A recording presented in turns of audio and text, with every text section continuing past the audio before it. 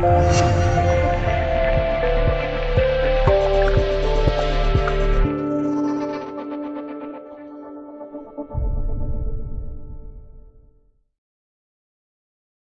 友设计的轰二十效果图，现在的中国空军相比十年前，已经发生了翻天覆地的变化。随着歼二十等各种新式战机的出现，中国也一下跃居为空中大国。但实际上，我军还缺少一款远程战略轰炸机，因此轰二十的消息就备受人们的关注。而近日，央视一部纪录片中的消息或透露出，我国轰到二十总师已经确认。也就是说，轰二十的研制早已开始。近日，央视播放的大国鲲鹏纪录片迎来了最后一集。作为一部在二零一六年就已经发布、专门介绍我国运二十的纪录片，它展示国人对于大飞机的追求，同时展示我国航空人的筑长空重器、挺大国脊梁的使命感和责任感。作为西安飞机工业集团西飞的代表作之一。运二十研制不仅体现了西飞人的技术水平，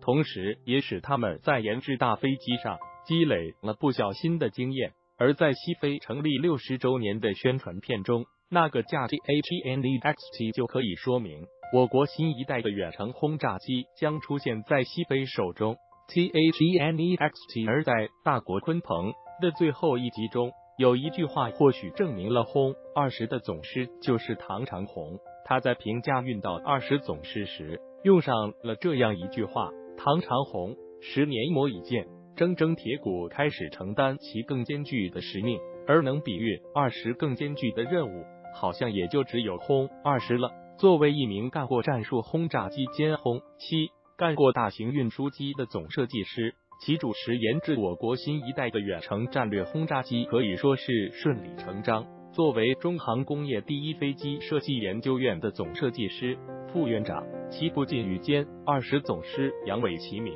他们甚至还出自一个宿舍，而那个宿舍包括他们俩在内，一共出现了三位总师，也被人们称为最强宿舍。正是这一代人，让中国走向更强。唐长红中，实际上唐长红总师担任轰二十的总设计师，在网络上早有传闻。早在二零一五年运到二十试飞的最后阶段还没定型之际，就传出了运到二十总师辞职，并开始了一项更重要的保密任务。在这样一个关键时期，总师辞职，这不仅说明了西飞对于运二十技术的自信，同时也表示新任务比运二十更加重要。而这也就只有作为三位一体和打击力量中重要一环的下一代远程战略轰炸机了。同时值得注意的是，在前几日西飞公众号一篇文章中，某项目 S1 排气管尾段样件顺利交付一飞院，这句话也透露出我国轰二十的研发工作